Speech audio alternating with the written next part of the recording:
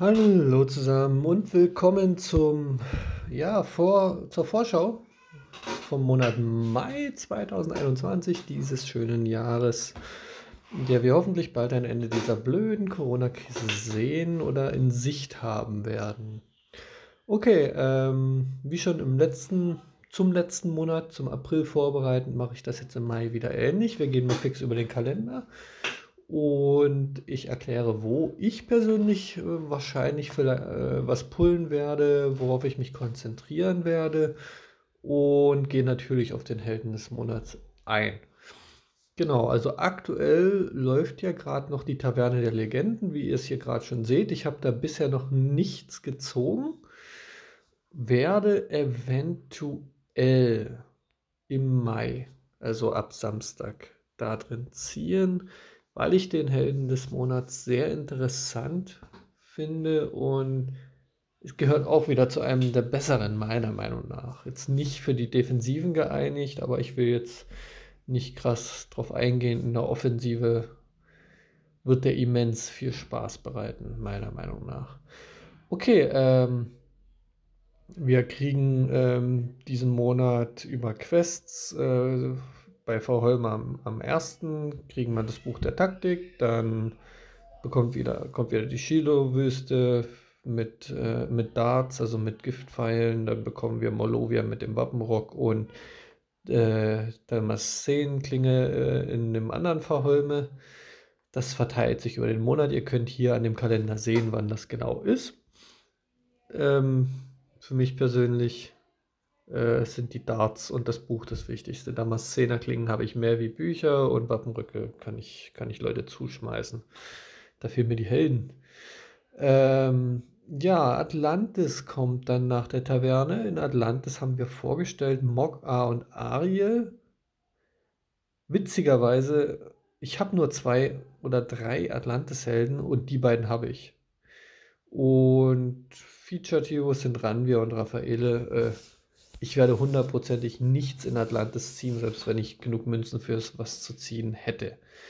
Ähm, fast direkt im Anschluss an Atlantis kommt die Kostümkammer. Ich hoffe, dass wir diesmal mal den Leonidas oder die Justitia vorgestellt bekommen oder den Dorn. Das wäre echt nice. Dann werde ich da auch ziehen. Wenn wieder nur Schnodder vorgestellt ist, sowas wie Horgal, sowas wie, wie im April, dann auch da nicht. Ja, aber Halla äh, Forever kommt danach ähm, vom, vom 9. bis 11. Ähm, interessant hier wäre für mich Berra. Freya hat mal letzten Monat, die wird nicht wieder vorgestellt sein. Wenn Berra vorgestellt ist, werde ich da auf jeden Fall ziehen. Ähm, weil ich immer noch einen lila Tank brauche. Ich level gerade den Killhasen, der den Job wahrscheinlich zwischenzeitlich übernehmen wird. Ähm, aber ja, Berra und Freya letzten Monat gab es ja nicht für mich und äh, Berra und Freya sind halt die Sachen, die man braucht, wenn man lila Tank spielt. Ja, dann Challenge Event Guardians of Teltok. Ich brauche den Wächter Panther. Ähm, Element Death Down, ganz, ganz wichtig. Und was war noch? Welcher Element Death Down war noch? Ja, ne, ne, der Panther ist wichtig. Vor allem auch lila, weil ich Wappenrücke habe ohne Ende. Die Gazelle wäre auch nicht verkehrt. Und ja, das Chameleon wäre nice. Also Teltok, vor allem wegen dem Panther, werde ich sehr, sehr wahrscheinlich äh, meine Marken auf, raushauen und vielleicht auch eine, eine, eine zusätzliche Beschwörung machen. Mal gucken, wie es läuft. Direkt danach der mythische Titan, dann S4, wo ich immer noch hoffe, dass Captain Nemo äh, jetzt der neue sein wird. Ähm, steht leider nicht in den, in den Spoiler-Informationen mit drin. Und dann haben wir noch den Ninja Tower und dann ist der der Mai schon rum, wenn man mit dem April vergleicht. Weniger vollgepackt, aber naja, prinzipiell ist immer alles voll. Und ja, am 31. Äh, Mai geht schon das nächste Atlantis los, wahrscheinlich. Und dann wieder Kostümkammer. Ich sehe gerade zweimal Kostümkammer. Hoho. Aber nee, das ist dann schon äh, äh, in Juni rein. Genau, okay. Das ist für die Events, dann Raid Tournaments. Wir haben drei Sterne, jetzt muss ich ganz kurz überlegen, Sturmangriff, dann äh, fünf Sterne, also ohne Gelb, fünf Sterne blutiger Kampf ohne Blau, dann vier Sterne ähm, Buff-Multiplikator äh, ohne Grün und 5 Sterne Sturmangriff wieder ohne Gelb. Das wird es im Mai geben an Turnieren. Und ja, schauen wir nochmal fix auf die Kriege.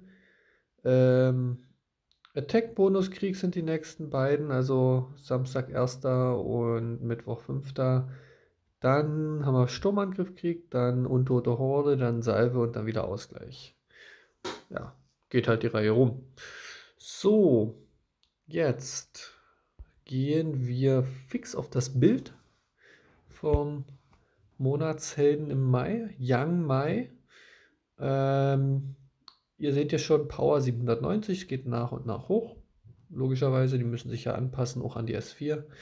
Ähm, es ist ein offensiver Held mit tanky Stats und Klasse. Das macht ihn sehr interessant. Und er ist schnell. Er ist schnell. Das ist auch angenehm. Ähm, in die Stats gehen wir jetzt nochmal so rein. Das ist nämlich kurz vorm Release das, was bei Small Giant im Forum steht. Äh, Young Maek, klar, 5 Sterne, Element Rot, Klasse Mönch. Was ich ja, Mönch ist prinzipiell immer nicht schlecht. Kann man fast überall mitnehmen in der Offensive. Ähm, solide. Ist jetzt, ich sag mal so, kein nichts, das den Damage verstärkt, aber das ist ein offensiver Held, der lange leben will. Und das werden wir dann am Special sehen, warum das so ist. Und er wurde so designt, dass er länger lebt. Mana Speed schnell, Attack Wert 743 ist okay was krass ist, dass sein Defensivwert nochmal um 19 besser ist und sein Leben, seine Lebenspunkte auch sehr solide sind. Ähm, wenn man ihn dann bewaffnet, definitiv Schwert über Schild überleben. Der braucht Attack Damage. Einfach mal, weil er zwei Multiplikatoren selbst eingebaut hat in seinen Fähigkeiten, was den Attack Damage angeht. Und je höher der ist, desto effektiver wird die Multiplikation logischerweise oder der erhöhte Prozentsatz. Äh, Familie, Held des Monats, bla bla bla, ist scheißegal, ähm, wissen wir. Dann hat er zwei Fähigkeiten. Einmal die Resistenz gegen Wasserdamage. Wasserdamage ist die Wählerwelle prinzipiell. Und gibt es noch was? Ich überlege gerade. Ähm, wahrscheinlich gibt es noch irgendwas, aber ich komme gerade nicht drauf. Zumindest bei den 5 Sterne gibt es, glaube ich, nichts weiter. Und dann, auch interessant und besonders interessant, wenn man in die aktuelle Meta schaut, dieser Held hat äh, die Fähigkeit, wenn sein Mana reduziert wird, bekommt er für drei Züge 30% Angriffsbonus. Und das stackt mit beispielsweise einem Rigat-Kostüm oder mit seinem anderen Effekt ähm, oder mit äh, einem Mickey oder wie auch immer. Das stackt mit allem. Ja? Und warum ist das in aktuellen Meta interessant? Wegen Berra und Freya, die beim Ableben Mana reduzieren und automatisch diesem Helden Attack Damage geben. Deswegen sehe ich den in der Offensive, in der aktuellen Meta mit den lila Tanks ziemlich gut. Ja, zumal die Kämpfe aktuell auch wieder länger werden, weil viele Minion das stellen und diese Multi-Hitter ja nicht mehr so oft gesehen sind, beziehungsweise man mittlerweile damit klarkommt. Ähm, und jetzt kommen wir zum Special Skill, weshalb ich es gut finde, dass der länger lebt mit seinen Fähigkeiten und Stats. Ähm, erstmal ist schnell, finde ich super. 280% auf ein Ziel. Klingt jetzt erstmal nicht so krass. Aber er hat eine 60%ige Chance auf zusätzliche Hits, auf zufällige Gegner bis zu viermal. Das heißt, in der Theorie kann er alle treffen, wenn man lucky ist. Die zusätzlichen Treffer machen weniger Schaden, das ist normal. Vollkommen nachvollziehbar auch, sonst wäre es krass OP.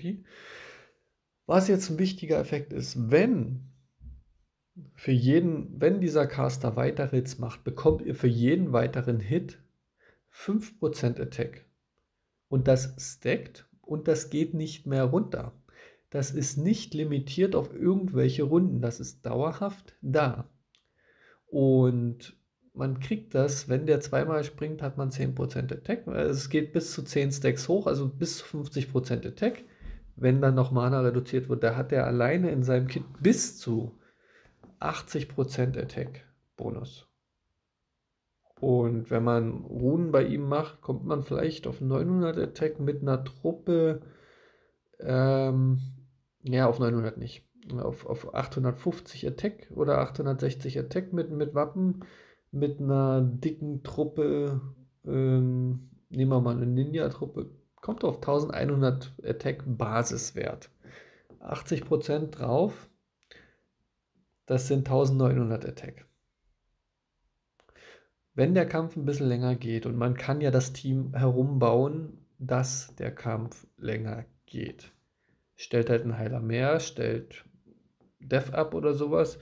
Ihr wollt, dass der Fight mit dem Helden etwas länger geht. Ähm, und dann knallt er richtig rein. Auch schon alleine die, die, der Attack-Wert ist ja nicht auf Special bezogen, der ist ja auf, auf den kompletten Helden bezogen. Das heißt, auch die Steine, die ihr in Gegner reinschickt, kriegen dann diesen Damage mit diesem Attack-Wert. Um, ich finde das besonders interessant, ähm, wenn ihr irgendwann mal im Ninja Tower unterwegs seid oder ich sag mal beim PvE auf der Karte die schweren äh, Etappen angeht. Ihr könnt ja bei den Leveln, bevor ihr zum Boss kommt, das, das Special öfter mal auslösen und dann ist der schon voll gestackt mit 50% Bonus-Attack. Oder auch bei, bei Challenge-Events vielleicht nicht so krass, weil man eigentlich schnell durch will, da wird er nicht viel auslösen vorher. Aber auch da wird er seine Daseinsberechtigung finden als, als roter Held mit viel Attack Damage. Ja.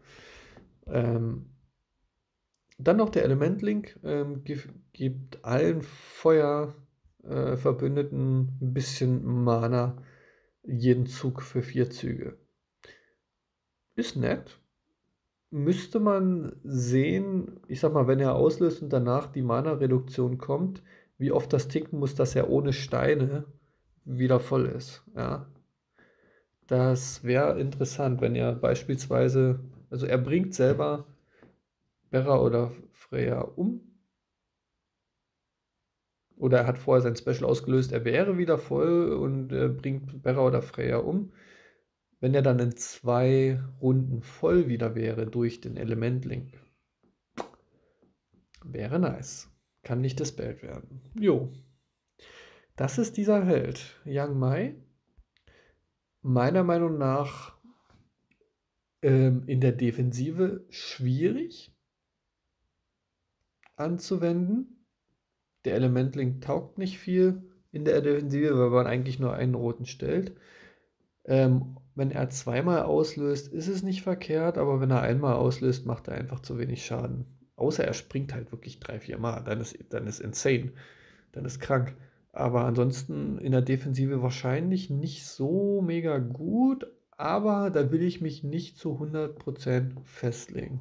Ich nenne gerne das Beispiel Berra, da haben sie auch alle gesagt, naja, oder viele haben gesagt, naja, das ist Nor oder das ist ein großer Quasier und äh, Noah halt, also ein Minion-Held, der sonst nicht wirklich was macht. Ja, aber die ist mega krass OP aktuell. Also die ist einfach viel zu stark. Und äh, man kann sich immer täuschen. Und vielleicht ist der auch in der Defensive tauglich. Aber wo er wirklich glänzt, ist definitiv in der Offensive. Ähm, Titan nehme ich da jetzt mal raus. Da hat er nichts, wo es bouncen kann. Das heißt, er kriegt seine, die, äh, seine Stacks halt nicht hoch von seinem Special Skill. Und die Titanen, die reduzieren ja auch nicht das Mana, von daher ähm, hilft das da auch nicht, sein, sein Passive. Ähm, deswegen Titan nehme ich mal aus, aber alles andere, wo ihr mehr als ein Ziel habt, ähm, wird der Held in der Offensive sehr viel Spaß bereiten. Genau das ist für mich jetzt die Zusammenfassung zum kommenden Monat. Im ähm, Kalender könnt ihr ja nochmal zurückgehen und äh, stoppen und dann schaut euch, wo würdet ihr pullen, wo nicht. Ähm, wollt ihr überhaupt pullen? Ist euch der Monat, äh, der Held des Monats es wert? Ich finde, er ist es wert, ähm, dass man pullt und ich habe meine Prioritäten beim Pullen. Ich werde nicht überall pullen, logischerweise. Macht das für euch selber aus. Ähm, rutscht gut rein in den Mai. Schade, bei uns gibt es keine Hexenbrände. Ich nehme an, das ist deutschlandweit so.